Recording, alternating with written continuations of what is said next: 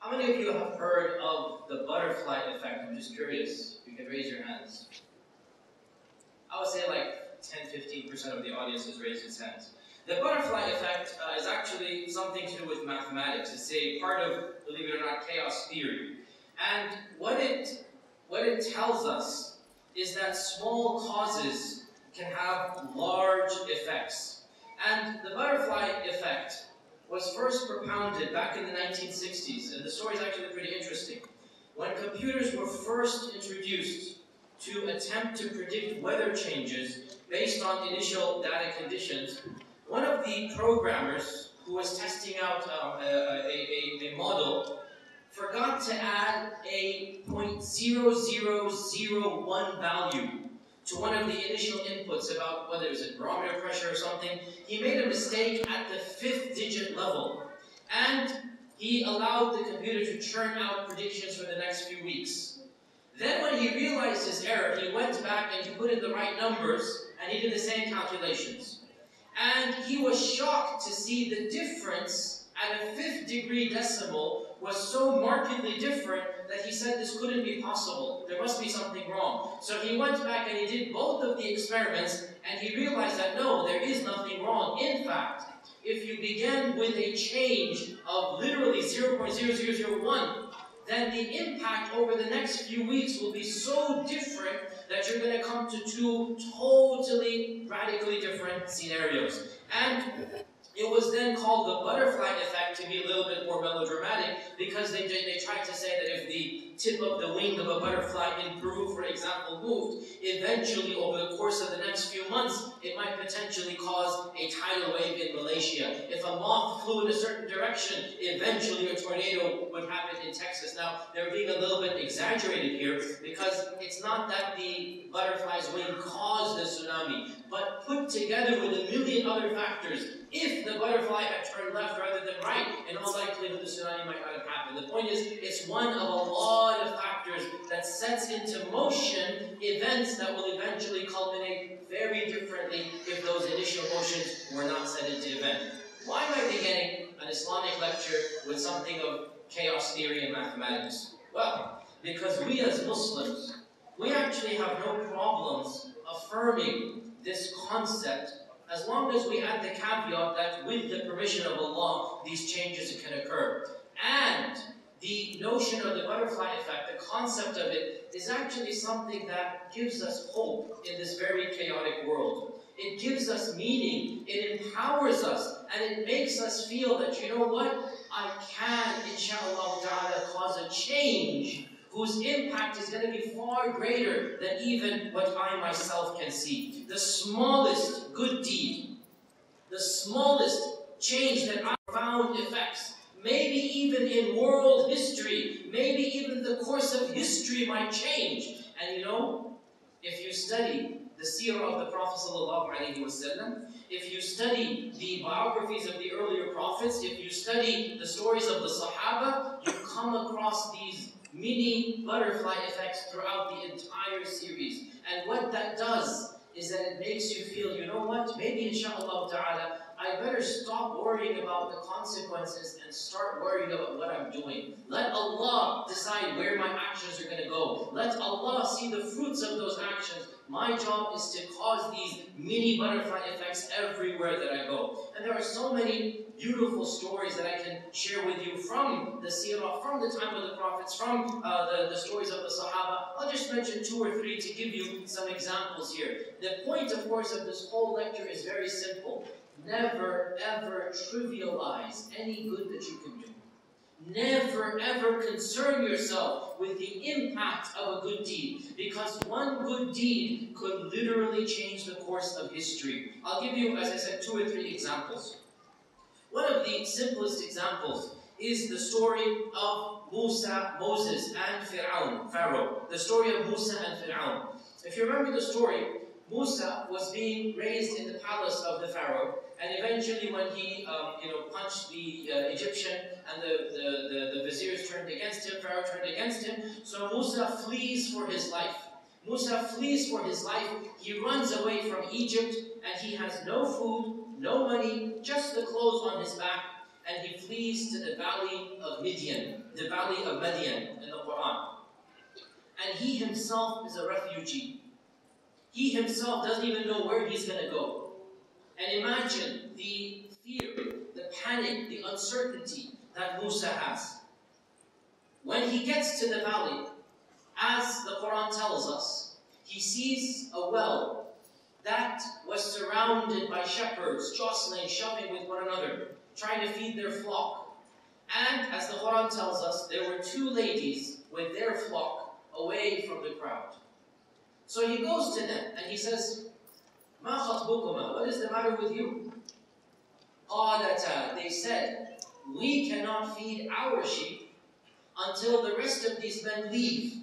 And by that time, there's hardly going to be any water left. And don't blame us. We don't have any money to hire a servant, and our father is very elderly. Musa, as we know, volunteered to help them out.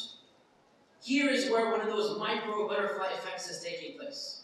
Musa himself is a refugee. Musa himself has no money to give them. He can't donate anything for them. But he donates the one thing that he does have, and that is the sweat of his brow. He's physically strong. So he volunteers to take the flock, and he gives the sheep water. He hands the sheep back to the ladies, and then, like the Quran says, he walks away from them. No need to chit chat, no need to do anything more. Keep it dignified and decent. He walks away from them, and he sits under a tree. And he makes that beautiful Quranic dua that I hope all of you memorize and make regularly. قال ربي إني لما أنزلت إلي من خير فقير. He said, Oh my Lord, I am a beggar to any good that you can give me. I'm a faqir, I'm a beggar. Any good you can give me, I would love it. What happens? Musa salam, did one act of charity. This is the butterfly effect. He fed goats and sheep. That's the good deed he did. Or you can say he helped out two ladies that needed to be helped. But how was the help to feed goats sheep? What was the impact of that good deed? What happened? Subhanallah. Within a few hours, one of them comes back. She's embarrassed, she's shy. And she says, My father's inviting you. He wants to thank you for what you have done. So they go to the house of the father, and overnight, subhanAllah, overnight, Musa has a career, he gets a salary, he gets a place to live, he gets a, a house, and on top of that, he gets a wife as well, mashallah, tabarakallah. Single brothers, if you want to get married, start feeding water to the people outside. this is the effect of a good deed. Do you think Musa understood any of this when he volunteered to help these ladies out? He didn't even know where he's going to go tomorrow. But when he was generous, Allah was generous to him. When he did a good deed, the butterfly effect comes into, effect here. And he has no idea the consequences of his actions, what's going to happen. But subhanAllah, everything opens up.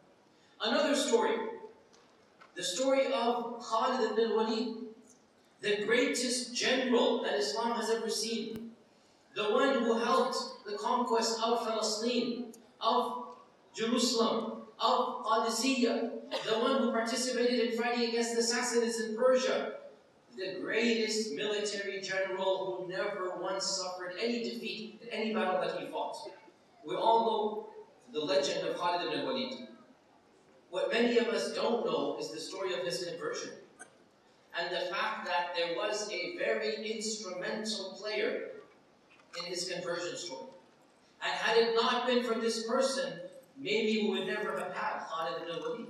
And that person was his older brother, Al-Walid ibn al-Walid. His father and son were named the Al-Walid ibn al-Walid. The brother was called Al-Walid and the father is also Walid. So the Walid, the son of Walid. His older brother, Walid, actually converted to Islam before Khalid. And he was writing letters to Khalid all the time, inviting him to Islam. But Khalid wasn't interested. And even that story is very interesting. I don't have time to go into all of it, but I've given a longer lecture on Khalid al Walid, and you can listen to it online. It's a very beautiful story. Al-Walid, the brother, was always interested in guiding his brother to Islam. He would write letters to him, he would give him da'wah, but was no use in that. Then, his father had died, Khalid's father dies, Walid's father dies. So Walid and Khalid are now left without a father. So then, in the Treaty of Hudaybiyah, the Muslims agree with the Quraysh that they're going to be allowed access to Mecca for three days the next year to do the tawaf, to do the sa'i, to do the pilgrimage. So in the seventh year of the Hijrah, Al-Walid has not seen his brother Khalid for six years. They haven't seen each other for six years. Al-Walid is missing his brother. In the seventh year of the Hijrah, the Muslims perform the Umrah in Mecca. And Walid rushes to the house of Khalid, hoping to see Khalid. But Khalid had decided to opt out of staying in Mecca. He didn't want to see the Muslims. So Khalid had left the house and camped outside for three days. He didn't want to see the Muslims. So Al-Walid was heartbroken. Now is going to happen one of those small micro incidents, the butterfly effect. Al-Walid wrote a very moving, emotional letter to his brother. And he left it in the house for Walid, for Khalid to find. Al-Walid wrote a letter from the heart to the heart. And he begged his brother to think about life. What are you doing? For how long will you worship these false gods? Worship Allah. You know Allah is our creator. You know the Prophet was not a liar. It was emotional and blunt and frank. And he said, Convert, come to Medina, and I promise you, you shall be honored. We will take care of you. We will treat you with respect, and I have the guarantee of the Prophet. I asked him, I begged on your behalf. Because, by the way, who was Khalid? Khalid was the one who caused the disaster of Uhud. Khalid was the one who, even in the Battle of the Trench, had done something. So Khalid was somebody whom he also felt, I can't convert, I'm going to be you know, punished or whatnot. Al-Walid argued on his behalf. Al-Walid got a concession from the Prophet, he got a promise. If Khalid converts, we're going to protect him, we're going to honor him. All of this is happening behind the scenes. Muslims, most of you have no clue about his brother. But see, here's the point Allah does. And Allah will reward him. And had it not been for his brother, frankly, we would not be sitting here the way that we are right now.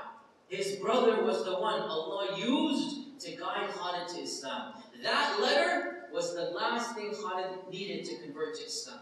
It was an emotional breakdown for him. He hadn't seen his brother for seven years. Now he's in his house. He writes a letter. Why did you leave us? I wanted to see you. Where were you? You know, I haven't seen. We're brothers. Do you remember this and that? Very emotional letter from the heart to the heart. And then a blunt call to convert at the end. How long are you going to avoid this? Come and convert to Islam. Be a good Muslim. And I promise you, you will be forgiven and you will be honored in Medina. The Prophet has promised he's going to honor you. So, Khalid ibn al-Walid, he decided to convert to Islam and he became the last convert before the conquest of Mecca. The last convert to actually migrate from Mecca to Medina, the last convert, you know, we call those converts the Muhajir versus the Ansar. The last Muhajir is Khalid ibn Walid. Because after him, the conquest took place, so there's no more migration after that. And Khalid eventually did convert, and he came to Medina, and the rest, as they say, is history. But here's the point. When Al-Walid is doing what he's doing, do you think he has any idea that he's thinking about the future? He's thinking about the Sassanid Empire and Persia and Rome and Byzantine. He's thinking about Qadisiyah. He wouldn't even know Qadisiyah. He wouldn't even know these battles. He wouldn't even know what's going to happen in the future. It's not on his mind. But that's the point. Allah's not asking you to calculate the net result of all that's going to happen. Allah's asking you, do you do your job? You spread khair and good and blessings wherever you go. You do your micro acts of good. And who knows, one of them might go and literally change the course of history. That letter that Walid wrote for his brother literally changed the course of human history. Think about that. He didn't. Walid didn't think about that. that that's not his job. That's not his job. His job is to do whatever he can with whatever he has, and Allah will take care of the rest. And that is exactly what he did. And so the rewards of Khalid ibn Walid and all that he did shall also be given a share of it to his brother Walid. So the conquest of Islam, Al-Walid, we are also indebted to him, even though none of you know the story. Think about that. These are those micro acts of the butterfly effect, as you call it, where we see people doing things and only Allah subhanahu wa ta'ala knows the future that's going to happen. And of course, there are so many incidents, even from uh, the seerah of the Prophet wasallam as well, where the Prophet might even have done something and even he does not realize the impact of what he's done. And again, time is limited. I'll just share one story with you. It's one of my favorite stories, and I've said this in quite a few lectures because it really demonstrates the power of just doing good without waiting for the repercussions. You just do good and let Allah take care of the extra good that's going to come out of it. And this story involves the migration of the Prophet ﷺ to Medina. When our Prophet ﷺ, in the last phases of Mecca, realized that he needed to migrate to another city, when he realized that he couldn't live in Mecca for too long, he started approaching the other tribes, trying to get some tribe to sponsor him, trying to get some tribe to get him, you know, away from the Quraysh. And he would go and target the famous tribes, the powerful tribes. It made sense. You target the tribes that are established. He would target the Hawazin, the Kinda. These are names of tribes that have tens of thousands of people. They have large settlements. And one day, as he's laying out his plan, and Abu Bakr anhu was his main secretary, and saying, okay, we're going to go today to this tribe, and we're going to go to that tribe. And he mentions two of the big tribes they're going to talk to. And the goal of talking to them was to see if they would be willing for the Prophet to migrate from Makkah to their lands. So one day, they have the agenda between tribe A and tribe B. And these are big, massive tribes. And as they're walking, the Prophet sees a group of five people sitting in the middle of nowhere in Mina in the days of Hajj. And he asks, Who are you? They said, Oh, we are from the tribe of the Khazraj. Khazraj. This isn't one of the big names. It's not one of the famous tribes. Even the process of his brain is thinking, Khazraj. Which Khazraj? Oh, the Khazraj of Yathrib. Is that Khazraj? The Khazraj of the city of Yathrib. Remember, Medina was called Yathrib before it was called Medina. The Khazraj of Yathrib. They said, yes, yes, the Khazraj of Yathrib, that one. So the Prophet said, can I sit with you? Do you have some time? They said, sure, sit down. Realize, this wasn't on the agenda. The Khazraj was not on the plan. The plan was the big tribes, the fancy tribes, and that makes sense. When you want to approach people for protection, you go to the big shots. Total sense. But here's the point. Now you have an opportunity to do some good. Do it. Let Allah take care of the results. The Prophet sat down with the Khazraj. He gave them the call to Islam with the same passion, the same sincerity, the same pure ikhlas that only he has, that he also gave to the larger tribes. And they thanked him, and life went on.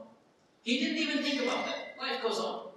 But subhanAllah, as we all know where this is heading, that small seed of Islam that was planted in those people quite literally changed the course of history. Those five people, they went back. Some of them converted, and they began preaching to their fellow tribesmen in Yathrib. The next year, 70 people came as Muslims. The next year, they demanded the Prophet come back with us. For how long will you be persecuted in Mecca? We shall take care of you. So much so, when the Prophet preached to them, those five people, Allah showed him a dream. And He showed him the city of Medina. And Allah said to the Prophet in a dream, this is where you're going to migrate. But the Prophet ﷺ didn't put one plus one together. He didn't, put, he didn't think of the Khazraj. And he thought maybe the people of Yemen that I had spoken to, the big guys, one of those big tribes, they're going to convert. Because Yemen was also green and luscious. When he saw Medina, he didn't see a nameplate of Medina, he saw date palms, and he saw water wells, and that's not Mecca. And the voice said to him, This is where you're going to migrate. The Prophet said, When I saw the dream, my imagination and my desires went to Yemen. But lo and behold, it turned out it was Yathrib or Medina. Meaning, even the Prophet did not recognize what had just happened with the Khazraj. He didn't recognize it until the Khazraj came back and they then said, You're going to come with us. We're not going to let you be persecuted. We're not going to let the Muslims be killed in Mecca. We will give you our safety and our promise, and the rest, as we quite literally know, is history. Literally, the history of Islam changed because of the hijrah, because from weakness to power, from having no state to being the leader of the state, etc., etc. How did that begin? Once again, there's this minor act over here, and that is the act of preaching to people that weren't even on the agenda. An opportunity came to do good, and the Prophet ﷺ did it. And there are many ayat and hadith that mention the, the magnificent impact that a small good deed can have. For example, the hadith in Sahih Bukhari mentions that the Prophet ﷺ said that if one of you gives a small date in charity from his pure wealth, a date that he wants, he loves, he's earned it, and he gives it in charity, Allah subhanahu wa ta'ala will accept that date, and he shall plant it, and nurture it, and water it, and it will grow and grow and grow, so much so that when on Judgment Day you come back and you see this beautiful tree in your good deeds, you might say, Oh Allah, I don't recognize this good deed. I don't I didn't do this. Where is this coming from? And Allah will say, Remember that one date you gave? Remember that one date you gave, but your heart was pure, you had sincerity, you gave it for the sake of Allah? I accepted that date and I nurtured it. I allowed it to grow until the results of it is what you are seeing here. Our scholars say that perhaps what could happen is that you feed somebody and you don't realize what happens after that. You change his life around. You give somebody $10. In reality, you change his entire life. He goes on and he does something else. And all of the reward are going to go to you, and so on and so forth. One good deed is the domino effect might bring about thousands of other good deeds, such that when you stand on Judgment Day, you will have good deeds you don't even know where you're coming from because you used every opportunity you could to spread the blessings of Allah subhanahu wa ta'ala. Brothers and sisters, the reason I'm, I'm, I'm talking about this is very simple. We see global changes taking place. We see the rise of Islamophobia. As we speak now, massacres are taking place in Palestine. 15 people were killed brutally by the IDF. 2,000 people were, were, were injured yesterday and today. This is happening right now. Major problems happening. At some level, we can't help but get depressed. At some level, it seems overwhelming. What can I do? What can I do? 7 million refugees in Syria. 500,000 Burmese people, you know, Muslims, Rohingya, being killed in massacred. What can I do? And the response is, I'm not telling you not to feel sad. We should feel sad. But we can do much good at the microcosm level. And the good that we do we should never underestimate how it might impact other lives. We should never underestimate what might happen when that good is multiplied, accrued, when that good becomes too good, that too good becomes four, that four becomes 16, and slowly but surely, you change one person's life. What if that next person is our next Khalid ibn Walid? You change, you could you help one person accept Islam. What if that one person is the one person at, at whose hands Islamophobia will be demolished from this ummah? You don't know that. You do not know that. We see this over and over again, even in our own lives. You all know last year that video that went viral of one of our brothers in Atlanta breaking up a street fight. You all know that video, right? Uh, one of our African American brothers, he saw a street fight and he just walked out. He didn't know it's being videotaped. He didn't know it's going to become national news. He didn't know he would be interviewed by some of the greatest, you know, TV stars and personalities in America, and that funds would be set up in his name. He had no clue but what he did know was that a Muslim, as a Muslim, he couldn't allow this to happen. As a Muslim, he intervened, not knowing that somebody's videotaping it, subhanAllah. This is what you call sincerity. Allah blessed that sincerity. He got involved, he stopped that street fight, and what happened? You all know what happened after that. That was a sign of what it means to be a Muslim. And this is the reality that we see around us. So don't feel overwhelmed at all the negative stuff. Rather, look at the positives you can do. And let those positives go their own way. It is possible, brothers and sisters, that the good that you do will not even be known to you. And that is the best type of good. You don't even want to know it. Allah knows. Allah will connect the dots and you shall get the reward and the credit. That is the ultimate good. Your job is very simple, brothers and sisters, and with this I conclude. Your job is very simple. You're not required to solve the Palestinian problem that's too big. You're not required to solve all of poverty, all of hunger. You can't do that. No, Allah is not requiring you to take on these global challenges. Do what you can with what you have, wherever you are. That is all that Allah requires of you. Do what you can with what you have, wherever you are. That is all that Allah requires of you. Be good, be kind, be compassionate. Wherever you go, bring about that happiness, bring about that khair. Donate to people, smile in their face. Be a positive influence at the micro level. And guess what? Eventually, that positive influence at the micro level will cause about positive influence at the macro level, and that is the goal that we can strive to do. You might not know it, you might not causally link it together, but that's not your job. It's not your job to put all the dots together. Allah will take care of where the domino goes. Allah will take care of all of those causes. Your job is to spread that. Your job is to plant the seeds wherever you go.